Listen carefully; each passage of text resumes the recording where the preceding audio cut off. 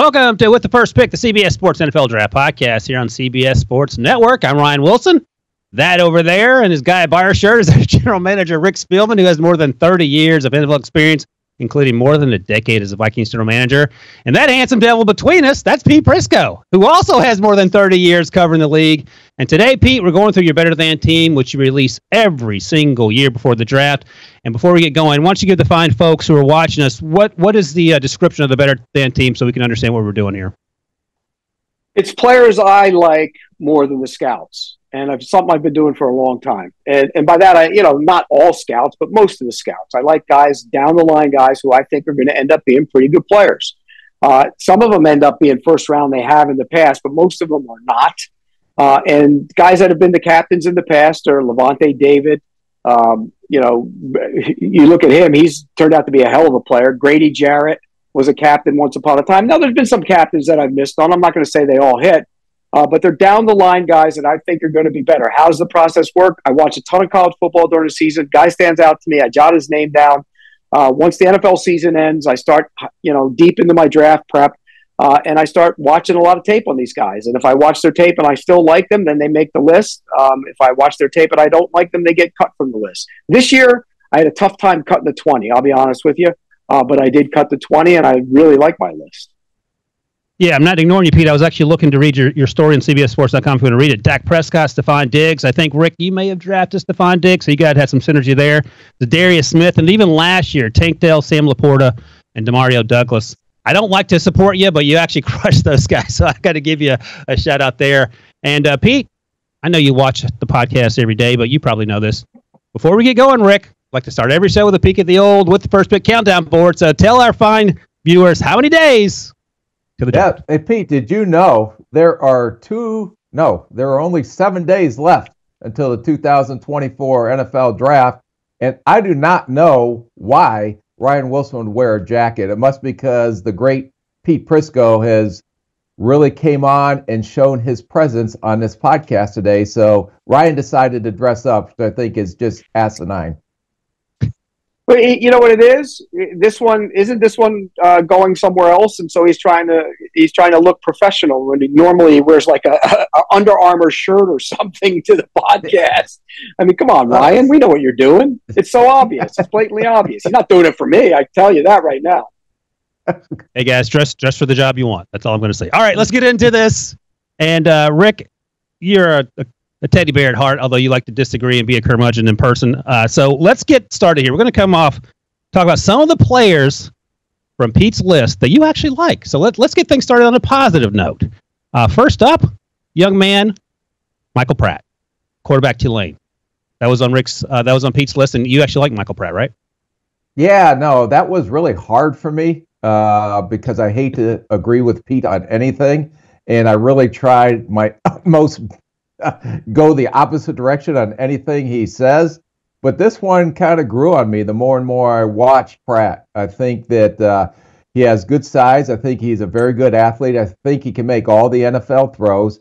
He needs to improve his accuracy on throws outside the pocket. I think he needs to be a little bit more patient in the process in the pocket, trying to process when he's reading defenses. But he's kind of started to climb as we went through this pre-draft process we were down at LSU at their pro day and talked to a lot of people down there. Tulane actually had a pro day the day before, and everybody was raving how this kid threw and how he performed. So this kid is growing on me, and I think in that second tier, that second wave, that someone's going to take a swing uh, because of the potential upside with him. Hey, Pete, you see on the graphic there that I have Michael Pratt going in round four. Give me an idea where you think he goes, and if you have a comp, give me that. Otherwise, I have one for you that I'm sure you and Rick will love. Yeah, third or fourth. Uh, I think he's a third or fourth. And Rick Rick mentioned that pro day and talking to guys around the league. One of the things he doesn't really drive the ball at Tulane down the field. He has he needed to clean up some mechanics, and he did at his pro day, from what I heard. And he threw the ball much better. And here's another thing about him. He, he played 40, 44 starts. That's a lot of starts, and he got better every single year. That's a good sign as well. I, I think Michael Pratt's going to be a steal, and I said this all along. I would take Michael Pratt in the third or fourth before I take J.J. McCarthy in the top 10. I can guarantee you that. Uh, so uh, that's what I think about Michael Pratt. Who's the comp? The comp is tough for me. I, I you know, I, I, had a hard time figuring out a comp Um, but I just think he's going to be a, a, guy that plays as a backup for a year. And then if a situation like what happened to Brock Purdy happens to him, I think he can become a star. You know, you get an opportunity, you make the most of it. I think that's what he can do. I think he was a better athlete than I thought when we saw him at the Senior Bowl. I thought he had a better arm than we thought. And Rick, I don't want 10 minutes on this, but you can tell me what you think of this comp and just think in general terms. And Rick is black and white, Pete, so it's, it's going to be hard for him to figure this out. I went with, and Rick, and Pete touched on maybe a backup for a year get some, some opportunities, maybe a little Colt McCoy. No, oh, God, no. No, he's just, he's better than Colt McCoy. That's, that's, an, that's a terrible. That's a terrible comp. That's a terrible comp. Why what do you better way? comps? what better way to bring Rick and Pete together than for me to give a comp? That's why I do it, Rick, to bring you guys together because uh, nothing better than seeing you guys. that means right, uh, that's a terrible. It's not even in the ballpark, by the way. That's no. not even a, not even close.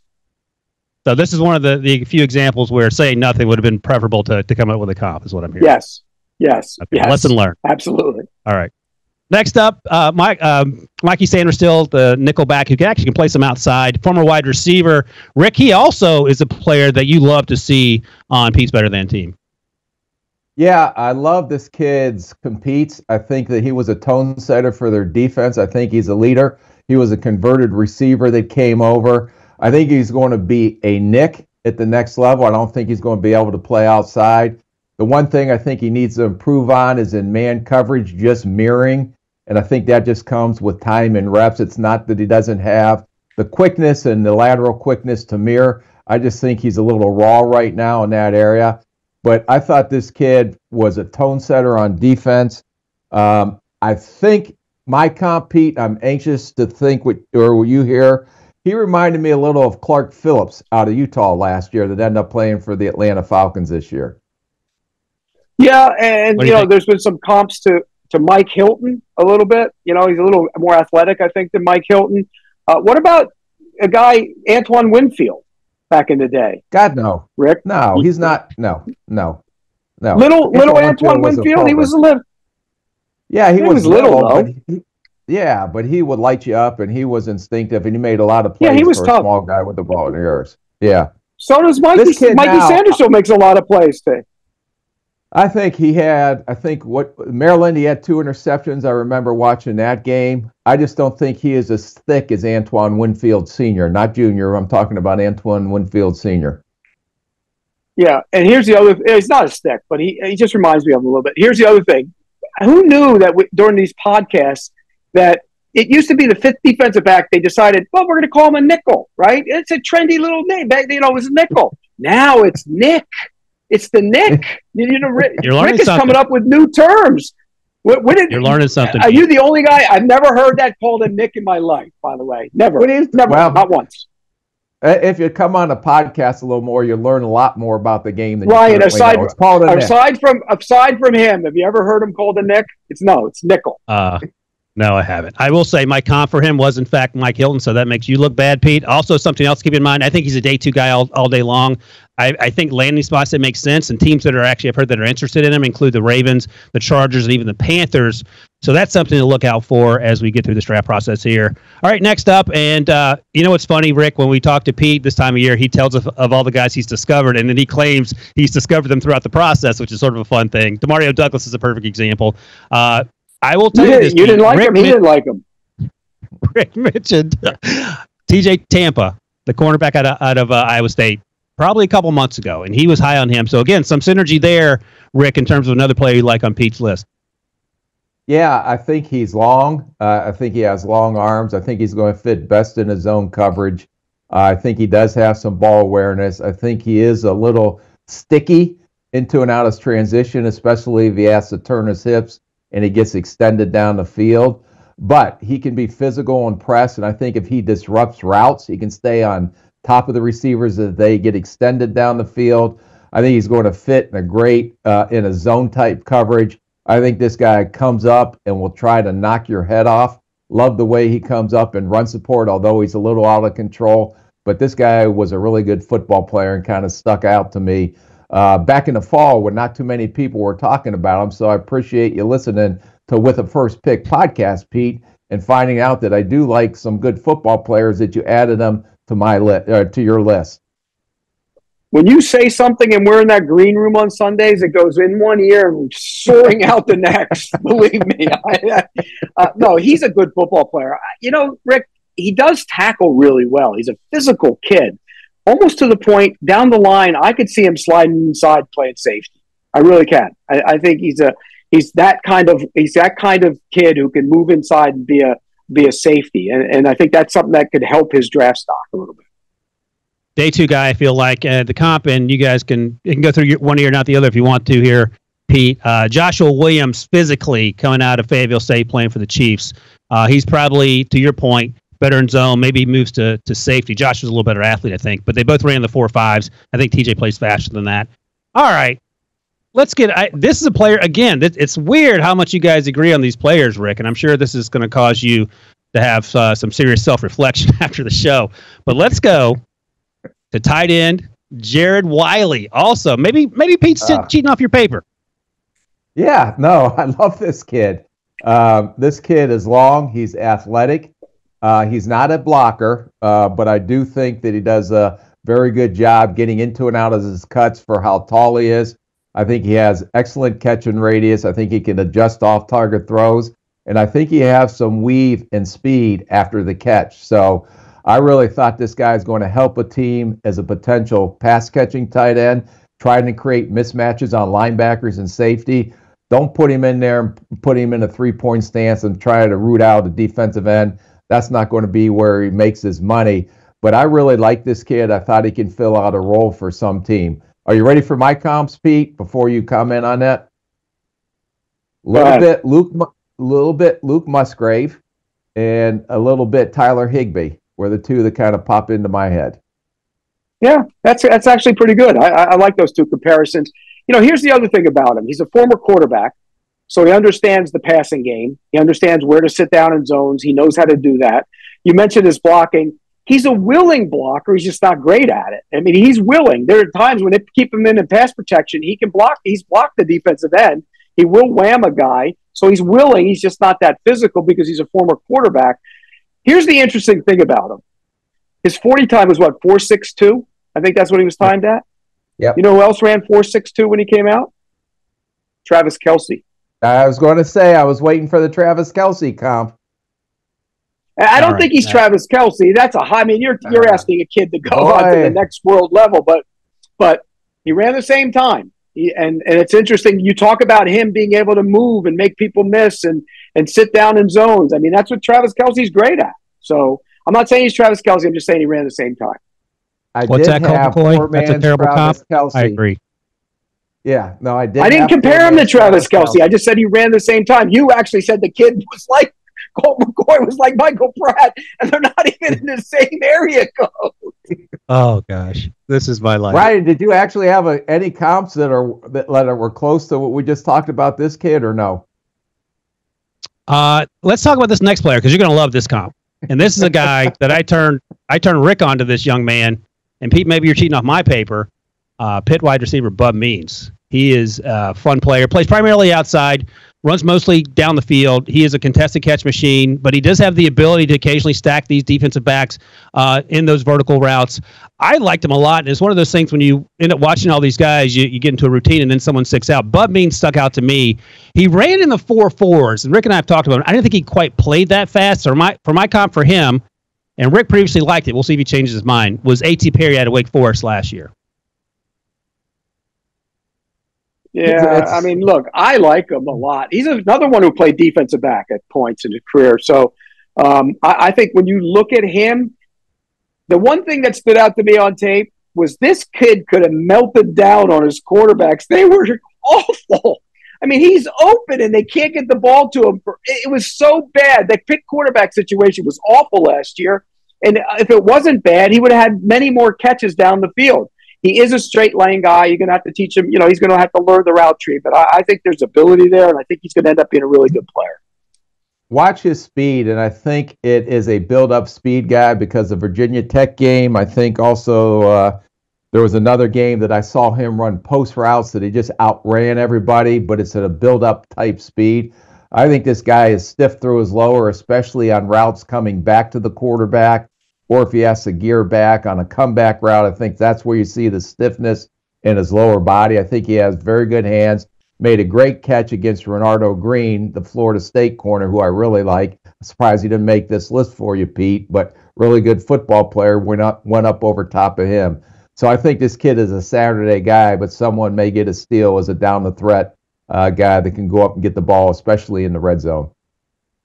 Early It's- day it's three? Pete, just so you know, Pete, it's Bub. I called him Bud like 62 times before I figured out it was a B instead of a D. Bob. Bub. This is my life, Pete, day in and day out. I spend no, I spend time with Rick more than my family, and he refuses to call this young man by his name. Bub, Bub, it is. All right, look, we're going to take a quick break. Uh, apparently, these were the guys that we liked, Pete. When we come back, we're going to tell you about some of the guys that we liked a little less, and we'll give you reasons why right after this. Welcome back to with the first pick here on CBS Sports Network. All right, we talked about the players that we loved from Pete's Better Than team. Rick, let's talk about some of the players that you disagreed with that were on the list. Pete is ready to take on all comers. First up, Troy Franklin, the wide receiver out of Oregon. Almost 6'2, about 175 ish. Uh, ran really well at the combine. I thought he played fast. I thought he had to uh, forced missed tackles in the open field could stack those defensive backs. But, Rick, why do you have him on this list? Well, Pete, I'm going to sadly disagree with you. Just kidding. so I do recognize, I do recognize this guy's speed, and he can extend down the field. I think he is leggy into and out of his cuts. I think this lean frame, he does not win contested catches, 50-50 balls. He is not much of a rack guy. If someone comes up and hit him, he goes down on first contact. I just think he's an oozer. I think he can be a vertical threat. I do think he can track the ball deep. The Washington game that I watched, he had eight catches for 154 yards and a touchdown. So you recognize that he has talent. I'm concerned about the weight. I'm concerned about the legginess getting into and out of his cuts. I'm concerned about the 50 50 catches because he's 175 pounds. And I'm concerned about him even getting off the line of scrimmage, especially when these physical corners at the next level are going to really hold him up uh, on his release uh, getting upfield. Yeah, the game has changed. You move guys around, you get them in motion. It's hard to get hands on guys like you used to, Rick. You know, there's so much pre snap motion now, it's not an issue. This kid can fly. Every single time he touches the football, defensive backs are going to hold their breath. You talk about not being able to make big plays out of short passes. He turned slants. He ran through the defense on a bunch of those last year. If it wasn't for some underthrown balls by Bo Nix, and there were plenty of them, he would have had even more big plays down the field. I, look, Rick hates every skinny little guy there is, but he raved about a five foot nine, 175 pound quarterback a year ago that went first overall. I just don't get the method to his madness. All right, uh, Rick, I'll ask you, and then Pete, you follow up. Second round pick or higher? Oh God, this guy is not going I- in the first round. This guy's a second round No. pick all the day. He won't go. He won't go in the first round. He should go in the first round. No, he shouldn't. Okay. Not in this draft. Yes, he should. Well, No, I mean, you know, because what if I told you back in the day that Stefon Diggs should have gone in the first round? Would you have said no? Of course, you would have said no. Should looking back on it, should he have been a first round pick? Yeah, Yeah, but we got him in the fifth. What do you want me to do? Right. Well, Yeah, uh, no, go. I'm- that- that- that's just it. That just goes to show you that nobody knows. You don't know. If you thought he was that good, you would have drafted him in the first or second round. You have no idea. let's hey Rick, let's tone it down a little bit because Pete's getting worked up, and I don't want him to pass out on there. So let's let's dial it back. If you, I'm not, I'm a not- few- I just like I, I just like to say that everybody thinks they know, and none of us really know, including the And that's- teams. That's actually closer to the truth, probably. All right, Rick, I'm going to give you the list of the other players that you disagreed with on Pete's team, and you pick out one, and you can take Pete to task on it. Uh, Rasheen Ali, the running back, Mo Kamara, the edge rusher out of Colorado State, and Javon Solomon, another edge rusher, two point stance guy out of Troy. Any of those guys you want to target and take uh, Pete to task with? Well, the one thing that I'll recognize that they're all really good football players. I'll give Pete that credit. But you can take the two edge rushers and put them in a clown car and send them off to the circus because they're 6'1", 240 pounds, and they don't have length. So those guys would be eliminated. They're going to have to be DPRs or designated pass rushers. And if they don't win with their quickness right off the snap, and these big offensive tackles get their hands on them, that's where they're going to struggle. And they're not going to be 17 games, 60 snap starters. They're going to have to be DPR, designated pass rushers.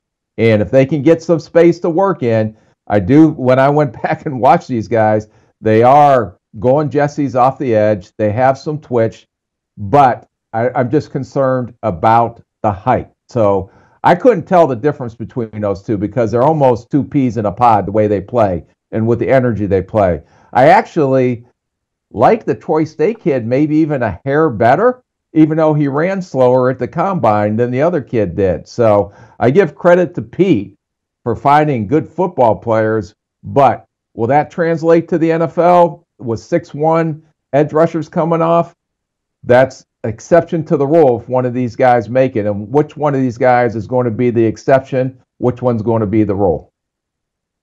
Yeah, you know what? You're right. They're they're not they're not they don't look prototypical at all, but they're good football players. And, and you find a spot for good football players. And I think you're spot on, Rick. They're going to be designated pass rushers. That's what they are. But everybody rotates guys in and out nowadays. And it's and, and so if you get 25 snaps, hey, Bryce Huff, just, what did he get? He got a new deal, right? And, and look what he did. He was a situational pass rusher. He couldn't play the run. And so everybody's looking for that guy. So that's why I put them both on there. And again, Ryan, real quick, what's he pinging them for? Not because they're not good football players, but because of their size. Again, he drafted guards and centers that were five foot eleven when he was at Minnesota. They're this big. Uh, all right, let's go to a player that Minnesota. That's a shot at Garrett Bradbury. Unnecessary, Pete. But let's go to the list of, of players that I, I had some issues with and uh, Rick, you know this, but people who are watching may not. Pete likes to make fun of me because I love everybody, and I do love everybody. I, even you two, I try to bring us together, even though the, the way you treat me, some may disagree with, including my, my family. Uh, but here's the guy I'm going to give you a name that at first blush, you're like, why is this guy on the list? Trey Benson, running back out of Florida State. And he's on this list, not because I don't love him, because of course, Pete, I do love him. Uh, he's a hard runner. He runs with low pad level. He can run between the tackles. He can bounce it outside. He's an asset in the pass game, all those things but he's not flying under anyone's radar. It feels like he has a chance to be running back one. He's not my running back one. It's close, but Pete, explain to me why he's on this list when I feel like we sh- we all know who Trey Benson is. Well, you have to put running backs on the list, and, and he's not going to be a first rounder. He's probably going to be a mid second rounder, maybe early second rounder, if that. And and so that's why I put him on the list. I, I love him. I, I think if you know how I have a, a real pushback against taking running backs in the first round and I wouldn't take a running back in the first round, nor would I pay a running back a free agent contract. But I think this is where you can get a guy like Benson, four years, five years, and then you go find another one. That's my belief in drafting and developing running backs. I think he's a hard runner. I love the fact that he was still able to do what he could do coming back from major knee surgery. And that thing was really bad at Oregon. That tells you he's committed. That tells you he's dedicated. I love the way he runs. I think he's going to be a big time player. Rick, round round two, round three. What are you thinking? Yeah, no, I do love this kid's style of running. Although he's a little upright, he's going to take some shot, but he's the, as you would put it, the hammer rather than the nail. So when guys come up, he's the one that's going to deliver the blow on the defenders. And I was surprised at how fast for uh, the size this guy is, how fast he can run. Ran fast at the combine. I think he's okay catching the ball out of the backfield. I think he'll be a good complementary back reminded me of the violence. And Pete, you're going to hate this because you hated the guy coming out. But Tank Bigsby ran like that when he was coming out of Auburn. He was a big, physical, violent runner. That's a good workout for Jacksonville. hey, I hope Trey Benson's better than Tank Bigsby was last year. I can tell you that. Oh my God, there you go. You don't judge these guys off of one year. Let's talk three years from now, then we'll see where everything's at. Well, don't worry. I'm grading your 2021 draft as we speak for some piece I'm working on later on. We'll grade you. Don't worry. I got it coming, buddy. Uh, this is a this is a comment geared towards our older audience. I'm not sure which of you, which one of you is Jack Lemmon and which one of you is Walter Matthau, but uh, one is one and one is the other. Grumpy old men. All right, we're gonna take a quick break, and when we come back, uh, great news, Pete. Rick has some additions to your better than team to make that better than team better, and we'll talk about that right after this. Welcome back to With the First Pick here on CBS Sports Network. We're going through Pete Prisco's Better Than team. And Pete, Your buddy Rick Spielman's here to make your list better because he has some additions that he'd like to share with us, and hopefully you will treat him with the same respect that you guys treat me. Uh, Rick, first up, let's start with running back Jaylen Wright out of Tennessee. Again, he feels like a Trey Benson sort of pick, but you can explain yourself. Yeah, no, I think this kid's the most explosive out of all the running backs with the ball in his hands. He led the FBS in plus 10 yard runs. Uh, he has low tread on his tires. He can catch the ball out of the backfield. My comp to him was Melvin Gordon, except without the fumble issues.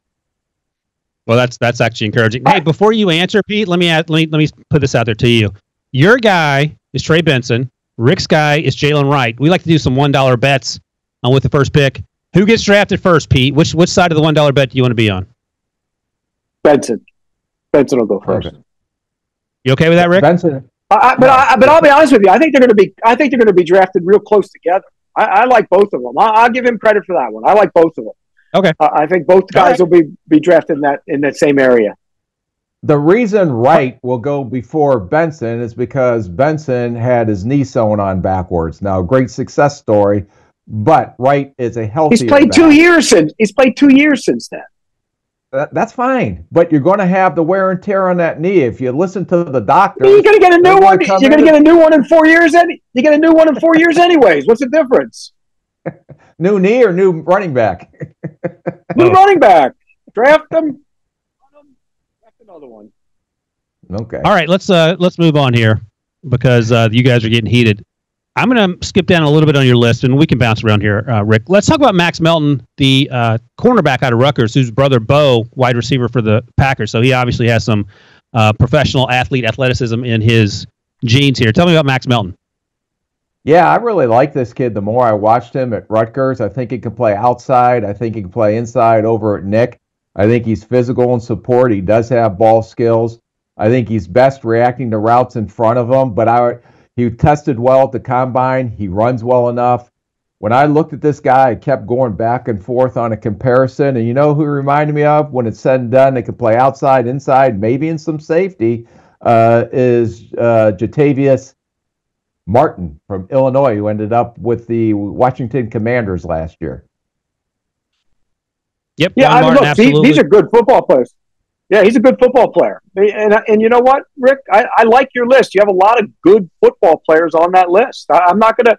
Uh, I'm not going to, you know, push back against most of them. I think you you hit a lot of good players there. I mean, the tackle from Pittsburgh, I think he's a guard. I think he's going to go slide inside and be a really good guard the next level. I think I think you hit that one too. He was almost on my team, to be honest with you. So uh, I think you did a nice job with your group. Well, uh, he's, you know, he's that, killing you with kindness, very encouraging. For, that's very encouraging for me, Pete. It's not like a. I don't do this for a hobby. I used to do it for a living, actually. Well, you know what that is? That tells me that all those Sundays sitting in those green rooms with me has rubbed off on you. I like it. all right, Rick. Let me put this one to you. You had Max Melton. Uh, Pete has Mikey Sainristil on this list. Let's do another dollar bet. Who goes first, Max Melton or Mikey Sainristil among the cornerbacks, or Nicks, as, uh, as Pete likes to call it? Yeah, uh, Melton is because he can play both outside and in. Uh, as as I referred to, Mikey is just a Nick. The other guy can play outside and inside, and you're going to give a team multiple positions on the defensive side of the ball. All right, let's let's go to Ben Sinnott, a guy that Pete um, Rick has been high on for quite a while. I want to hear his comp because the comp he had at the combine, I'm sure will change it and laugh at me when I tell you what it is. But talk about Ben Sinnott, Kansas State tight end. Yeah, I love this kid. You know, he wasn't highly recruited, walk on, seems to overcome all the odds, always has a point to prove, has a chip on his shoulder. I think you can play this guy at multiple positions. You can move him in at H-back, fullback. I think he's could line him up as a traditional Y on the line of scrimmage. I think that he is an underrated athlete. I know he only ran, I think, four seven or somewhere in that area, but he jumped out of the gym during the combine He's a very good route runner. He can catch. I think he has some run after catch skills.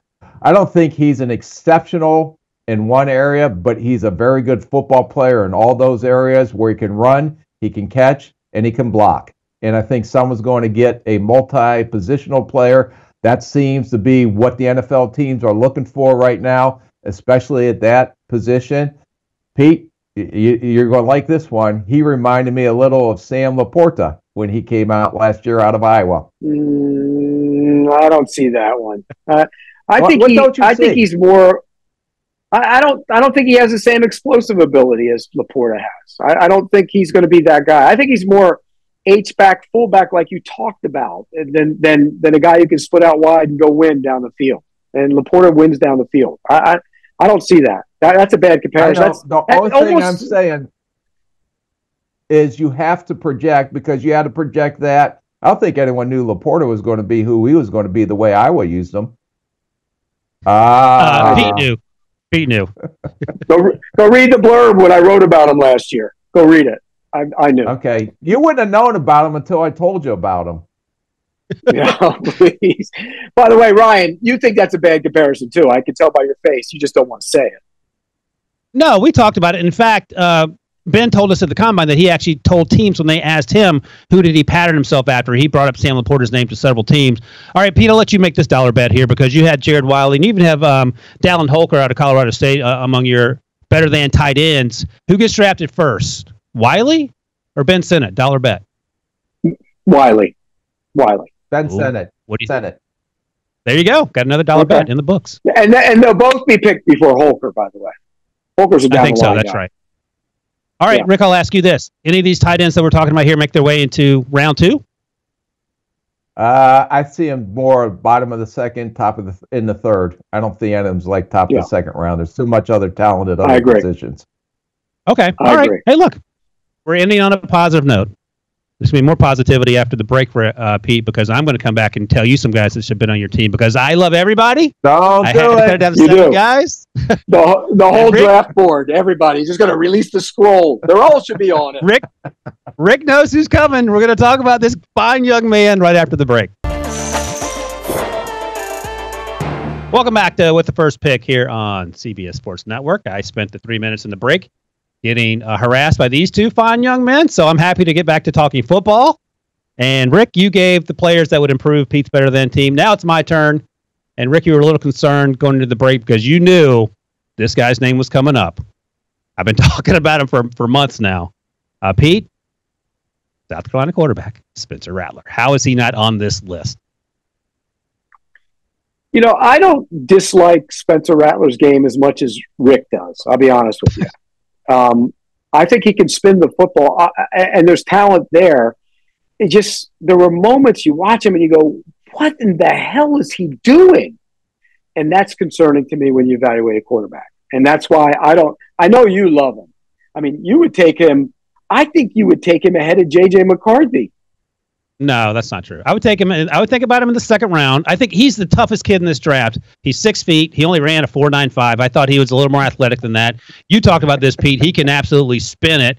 You hear Rick laughing. I get this all the time. And you know why Rick's laughing, Pete? I love to tell this story because at the combine, I'm minding my own business, standing off to the side, and who approaches me with Spencer Rattler and says, "Hey, man, thanks for having my back." And then he points to Rick across the way. There goes that guy. Not so much, and that's why Rick's laughing because he doesn't like to talk about Spencer Rattler. All right, Rick. All that said, would you take him at any point on day two? No, Uh, he's he's fourth, fifth rounder to me, and you take a shot at him there. But I, I would not take him on Friday. Too many holes in his game. Too many in, uh, decisions that are like Pete said. I'm going to agree with Pete. They're mind blowing on some of the things that you see him do and the decisions he makes on tape. Now I give him credit; he can throw the ball. Uh, and I thought he was going to be more athletic than the 4.9 he ran at the combine. But the decision making, I don't know if that's correctable because it is mind numbing watching some of the throws that he makes, especially at the end of games or in critical situations uh, during the game. I think he's a fourth rounder. I think he'll go in the fourth round. He might go because people get desperate for quarterbacks third round. Would you take Spencer Rattler or Kellen Mond, who went in the third round of some team back in the day? Who's a better quarterback? Rick, Rick quit laughing when you said that. I'm taking Michael All right. Pratt. Uh, okay, You know look. what else? let's- You know what else? Ryan lo- Ryan Wilson loved Kellen Mond too. By the way, he, he- you know what? You you pin you pin Christian Ponder on me, Ryan. I'm pin, pinning Kellen Mond on you, buddy.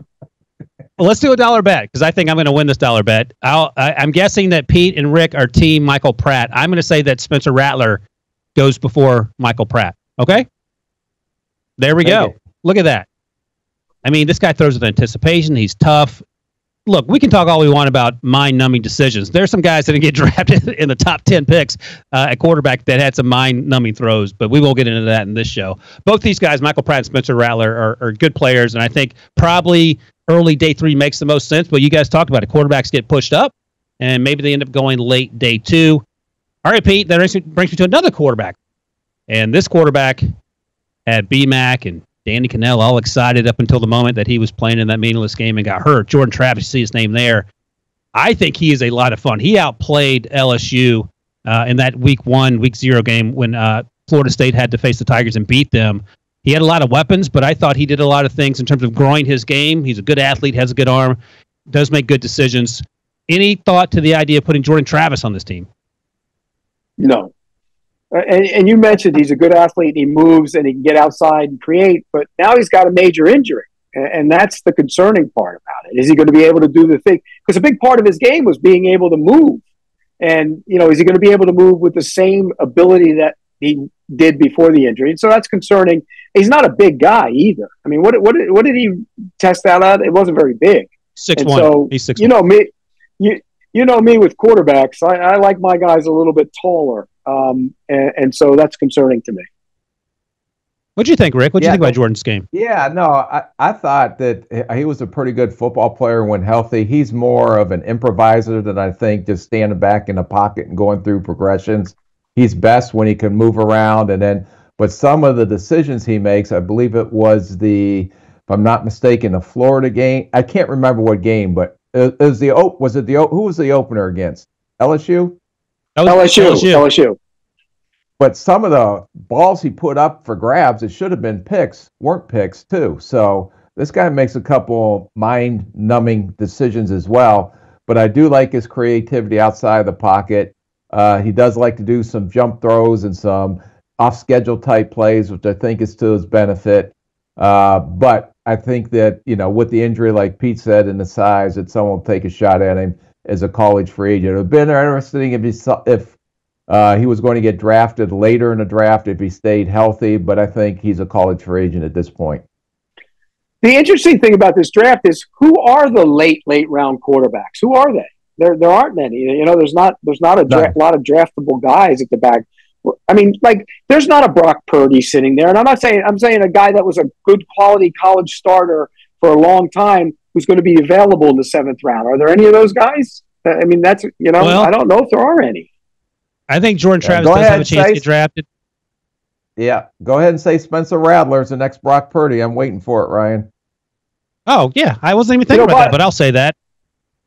By the way, Ryan, you remember the kid from UTEP? I told you about him a couple years ago, but he got hurt. He got really yeah. didn't he? May, yeah, because he he could throw the football, but he got hurt. That was his problem. I mean, there's also uh, we haven't talked a lot about him, but uh, Tua's brother coming out of Maryland, he could be in the conversation for a late round flyer, maybe more likely to be a priority free agent. But just in terms of your your point, Pete, it is hard to find those guys. One name I'll mention quickly here because I know Rick loves tiny uh, slot receivers. And by the way, Pete, the guys who line up opposite slots are called Nicks. Just so you know, Anthony Gould, Nicks, out Nicks. of Oregon State. You like him? Yeah, I do actually. Um, why does so, Rick like him? Because he's too little. List? Yeah, I did. Did you think about actually. him on the list? I like yeah, him. Okay. I had too many receivers on the list, so I had to pair. You know, the receiver position is loaded. Drafts, so you got to pare it down a little bit. But yeah, I do like him.